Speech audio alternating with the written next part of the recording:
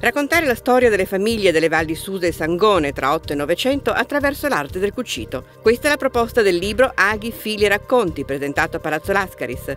La pubblicazione, curata dall'Università della Terza Età di Sant'Antonino di Susa, è frutto di sei anni di lavoro, che ha coinvolto associazioni e istituti culturali del territorio, il Museo Nazionale di Arti e Tradizioni Popolari di Roma e la Soprintendenza ai Beni Storici, Artistici e Antropologici. Un progetto nato nel 2008 con lo scopo di eh, censire e poi valorizzare i manufatti delle arti d'ago sul territorio dell'arco alpino, che sono i territori sui quali il censimento censimento è stato effettuato.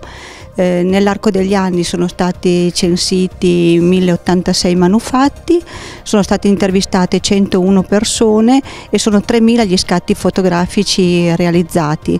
È un patrimonio il, il cui periodo va dal 1850 al 1950, quindi un arco temporale più o meno di un secolo.